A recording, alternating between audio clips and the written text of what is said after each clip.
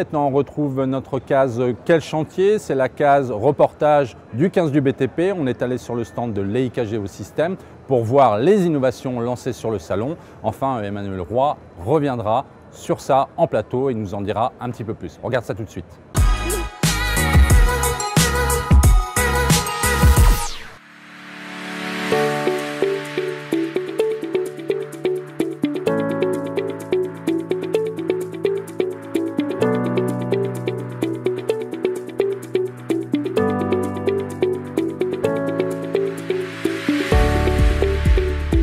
Fort de notre euh, innovation, on présente le nouveau récepteur GPS avec une gestion de l'inclinaison en par euh, centrale inertielle.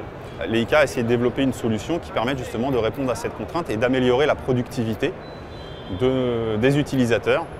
Euh, la contrainte aujourd'hui, c'est que bah, pour faire des relevés au GPS, on a besoin d'avoir une, une canne tout le temps qui est bullée en fait, pour justement euh, garantir la précision de la mesure, de garantir la précision de l'objet qu'on est en train de, contrôler. La vraie innovation, c'est qu'on a mis une centrale inertielle à l'intérieur en fait.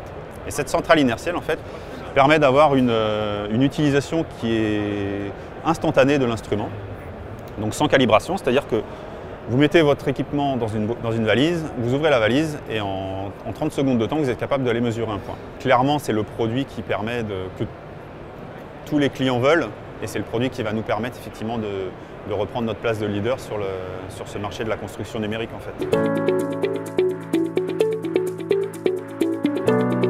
Donc effectivement, euh, l'EIK Géosystème est venu présenter euh, euh, différentes nouveautés, notamment le, le MCP 80, qui est une solution euh, flexible pour, le guidage d'engins, qui est dédié aux pelleteuses mécaniques, aux bulldozers et aux niveleuses. Donc c'est un, produit qui est dans la lignée euh, de son prédécesseur. Ceci dit, il y a eu euh, des, évolutions techniques, notamment euh, de la connexion à distance, l'échange entre le bureau et l'écran, ce qui est une nouveauté chez l'EIK Géosystème. Ce qui permet de ne pas avoir à, aller sur le chantier pour im- importer les, données dans, dans l'écran. L'innovation, elle peut se, se concrétiser en quelques secondes. Je vais vous montrer ça. Voilà, l'innovation c'est ça.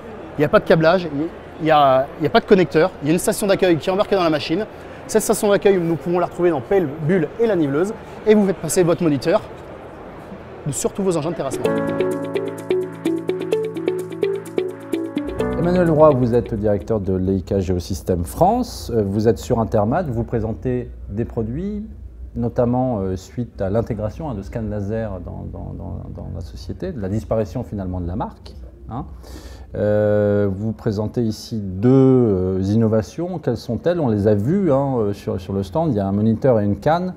Pourquoi ces produits? Pourquoi maintenant?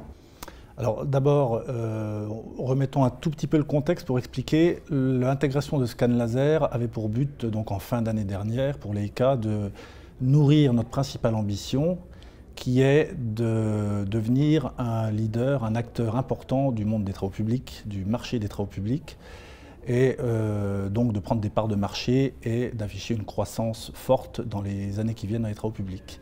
Et donc pour cela, en fait, on s'appuie sur un certain nombre de leviers qui sont notamment l'innovation. Donc l'innovation, c'est le savoir-faire de l'EICA depuis euh, presque 200 ans. Donc l'idée, euh, c'est effectivement d'ouvrir de manière plus vaste le, le- le marché des travaux publics pour l'EICA, mais pas en allant sur des, euh, on va dire des méthodes traditionnelles, en allant vraiment dans ce qui est l'enjeu aujourd'hui du, du travaux public, qui est la construction numérique, qui est le chantier numérique. Et donc, le numérique, c'est un des savoir-faire de l'EICA, le 2D, le 3D, le nuage de points. Et euh, la construction, c'est un autre savoir-faire de, de l'EICA. Et donc, euh, l'apport notamment de scan laser, mais aussi des innovations technologiques du groupe, nous permet d'avancer vers ce chantier numérique et de proposer une offre un peu différente dans le futur pour les entreprises de construction. Alors, euh, il y a une question peut-être plus, plus générale. Euh, pourquoi euh, euh, Geosystems veut-il aller vers le, vers le TP Pourquoi vous ne restez pas dans la topo Vous êtes un leader mondial. Dans la topo, vous, êtes- vous y êtes bien, on connaît vos machines. Pourquoi le TP Alors, les deux sont assez intimement liés, en réalité. Il n'y a pas la topo tout seul dans son coin et le TP tout seul dans son coin. Les deux sont assez intimement liés par la donnée. Euh, les travaux publics ont besoin de topo. Euh, les travaux publics ont besoin de données topographiques, ont besoin de données de grande masse, ont besoin de nuages de points. le nuage de points est arrivé il y a un certain, il y a une dizaine, 10-15 ans, plutôt par la topographie, et maintenant intéresse les travaux publics. Et donc nous, dans cette chaîne de construction numérique, on utilise les technologies déjà éprouvées dans notre savoir-faire de topographie dans le milieu des TP, puisque c'est une demande des travaux publics, notamment par exemple dans la maquette numérique, euh, qui est assez récente finalement. Le travaux public est arrivé un peu tard dans le BIM par rapport à d'autres types de métiers qui sont l'architecture notamment. Et maintenant, ça devient un enjeu très important des travaux publics de pouvoir maîtriser cette chaîne de construction numérique et entrer ou euh, apporter la valeur ajoutée du BIM euh, dans la gestion des chantiers notamment. Le chantier connecté, non seulement il faut continuer d'innover, mais c'est un mal nécessaire si on veut avoir des entreprises ultra performantes dans le futur. D'accord, merci Emmanuel Roy. Merci, merci à vous. Beaucoup.